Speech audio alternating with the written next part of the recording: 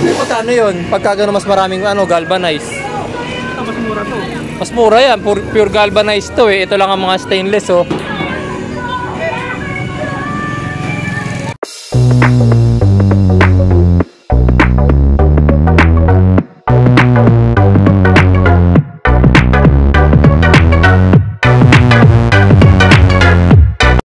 Hey guys, so papunta na tayo ngayon doon sa Caloocan. So hahanapan natin ng ah mabibiling sidecar para doon sa Kawasaki Barako na nasa likod. Ah, North Caloocan yun eh, pero hindi ko alam exactly yung address. Ah, sundan nyo na lang yung dadaanan naming lugar. Basta sasama yung North Caloocan yun. Ah, Deparo yung lugar. Pangalan ng lugar, Deparo.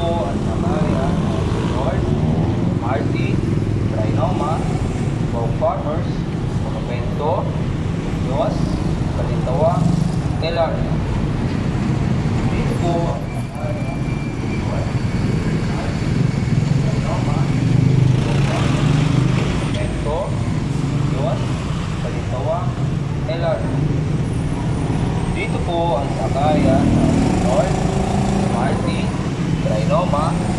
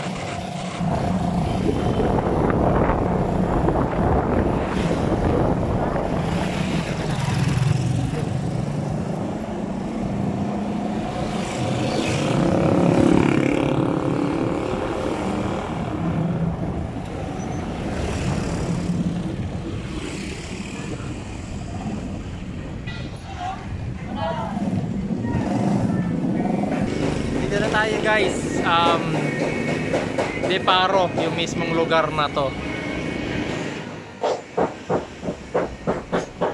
Ko kasi kabisado yung address nila pero Deparo Caloocan to. Marami kami nadaanan na gawaan ng mga sidecar doon pero hindi kami doon nagtanong kasi kahapon nang galing na rin kami rito.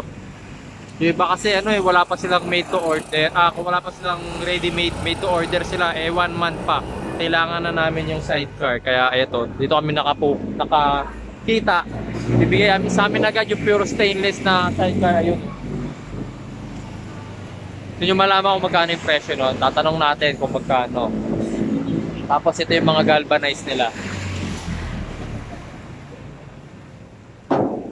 Galvanized yung ah bubong. Tapos yung body, basta nakita nyo na may balot na ganito, stainless yan.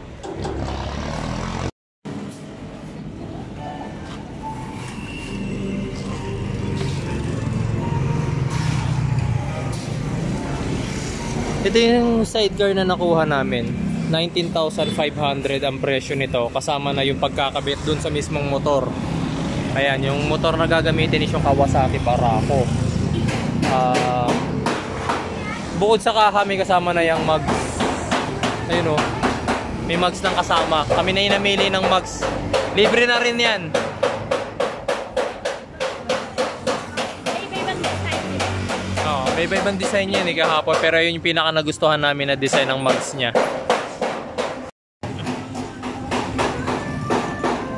Kaya so kapag ka pure stainless guys, makikita nyo as in pure stainless. Flooring, yung harap, then yung side also. Pati dito sa likod. Ayan, hanggang dito sa likod, pati yung bubong. Stainless yan. Yan yung 19,500. Di ba? Yan, so kinakalas na yung motor.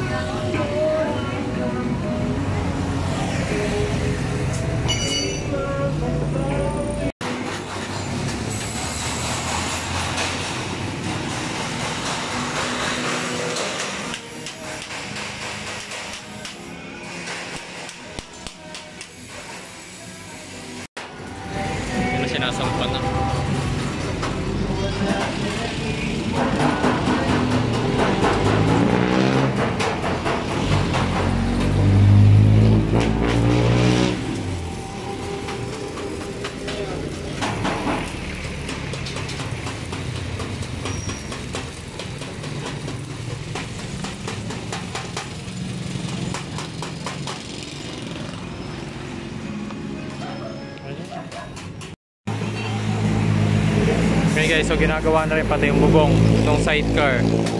Ayan, ay bubong ng sidecar, bubong ng mismong motor. Kasi kasama na doon sa babayaran natin yung mismong bubong.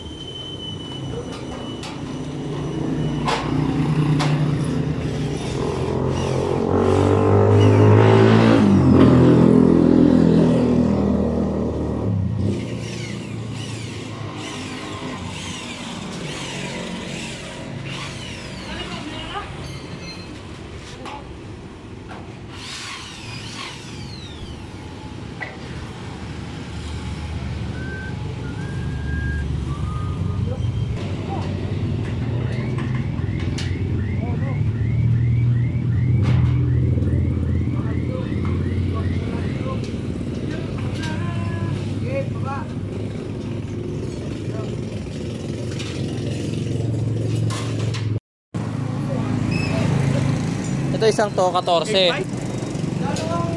10.5 Pag puro galvanized, as in kahit tong mga to galvanized to.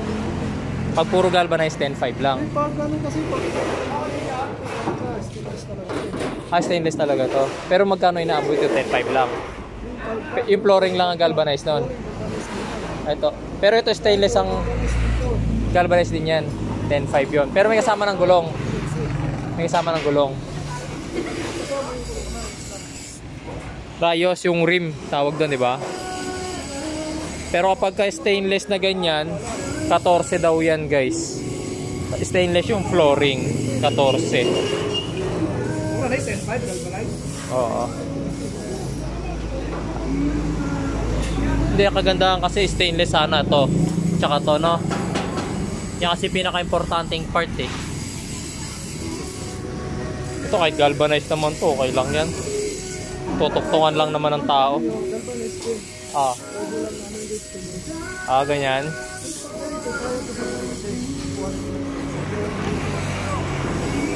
Diba guys, ang mura. Kapag purong galvanized yan, 10.5 lang. Pero ito kasi may stainless siya na flooring. Stainless pa rito sa harap. Kaya 14,000 daw. So malamang pati to Dun sa 10.5, eh, galvanized din, pero dito stainless kasi yan. Alin? 16.5 kapag ka, Galvanize yung bubong. tapos, full stainless din, pero galvanized to. 16.5, Konti lang different. 3,000. Di sana nagganyan ka na lang. Ha? Sayang din yung 3,000, no? 16.5. Hindi, at least pang matagalan yung stainless. Ipipinturahan naman yan, bubong eh. Hindi naman na-imbak tubig dito eh. Ang pinaka-importante na flooring lag, ang pinaka-importante lagi na stainless, yung flooring kasi naiimbakan ng tubig yan eh. Tsaka yan yung nalulusong kapag ka baha. Eh, ang bubong, dinadayuluyan lang naman ng tubig yan. Yan pa nga unang-unang natutuyo. Ayun. Oo. Yun guys, 16.5 daw. Nagtanong na yung asawa ko. Kung gusto nyo mas mura, 3,000. Mas mura ng 3,000. 16.5 lang to, galvanized. Yung bubong lang. Pero stainless pa rin yung buong body. Ayan o. Pati flooring, pati toolbox, stainless. Pati yung likod, stainless din.